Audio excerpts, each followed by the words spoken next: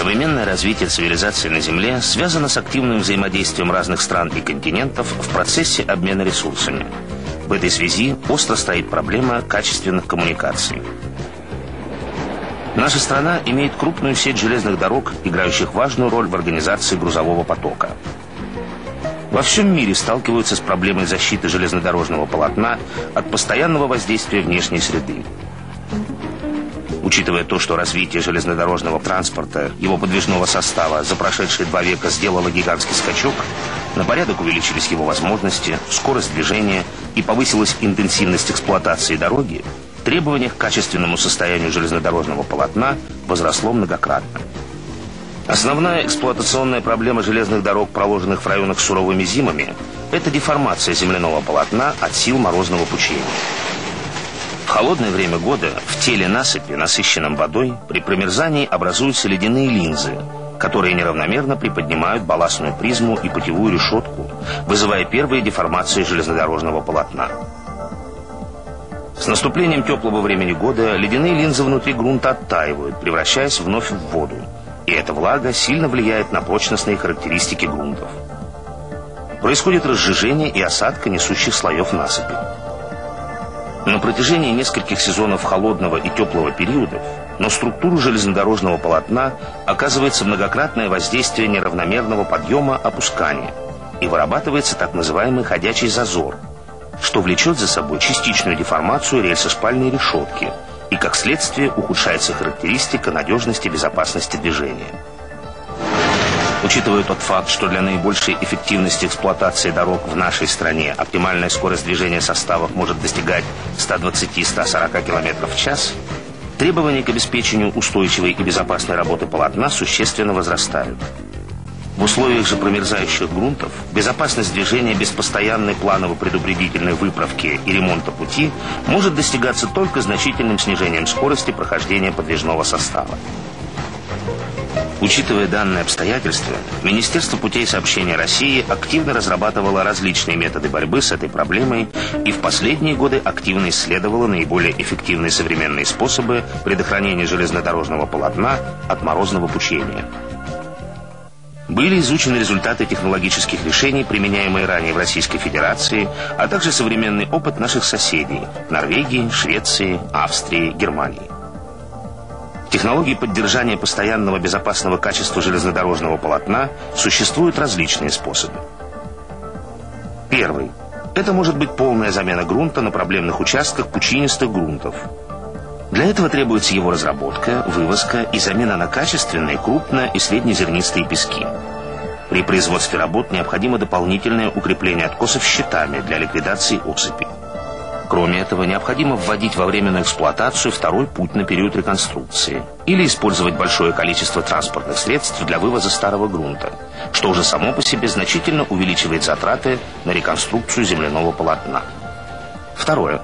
Это может быть создание морозозащитного слоя из теплоизоляционных материалов. В качестве теплозащитного слоя ранее использовался пенополистирол и асбестовый щебень, но опыт показал недостаточную прочность и долговечность этих материалов. В настоящее время одним из вариантов усиления основной площадки земляного полотна по схеме эффективность равна затраты плюс технологичность плюс долговечность был выбран метод устройства защитного слоя из экструзионного пенополистирола. Этот метод реконструкции железнодорожных путей в испытаниях МПС занял особое место по основным показаниям и был признан как наиболее эффективный в неблагоприятных условиях при затрудненном поверхностном водоотводе и в зонах повышенных силовых воздействий. При производстве работ применяются специальные путевые ремонтные машины типа РМ-80 или Самсон, которые позволяют, первое, работать на путях с использованием 6-8 часовых окон в движении поездов. Второе, выемку, очистку и укладку щебня производить практически одновременно и без остановок. Третье, укладку изолирующих плит производить параллельно с заменой щебеночного балласта, что, несомненно, говорит о высокой производительности данного метода. Положительный опыт проведения работ по этой технологии с применением самых современных иностранных материалов был изучен МПС в течение трех лет при реконструкции Октябрьской железной дороги, что позволило рекомендовать его и для применения остальным железным дорогам.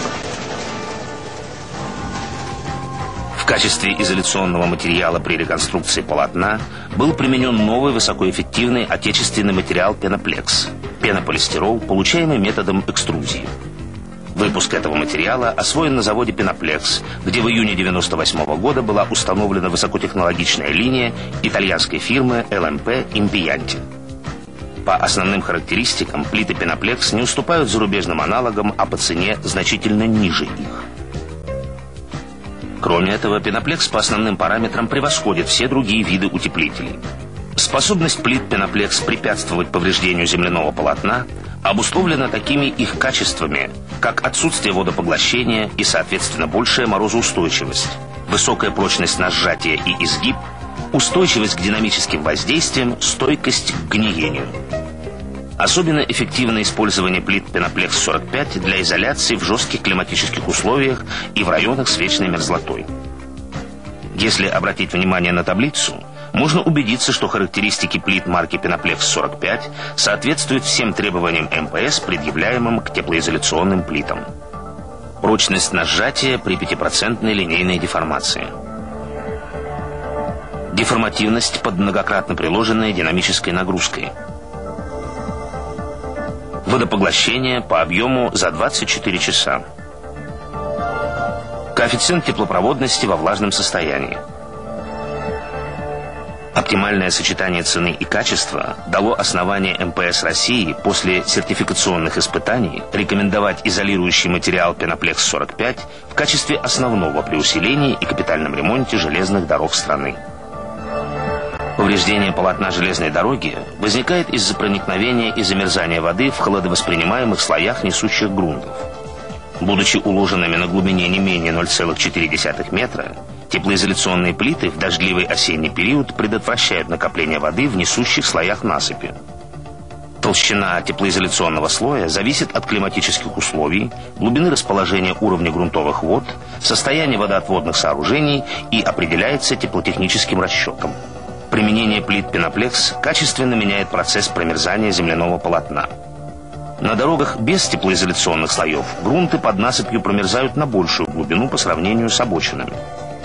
Это вызывает в зимний период миграцию влаги в грунтах от обочин к земляному полотну с водонакоплением в теле насыпи, что увеличивает морозное пучение.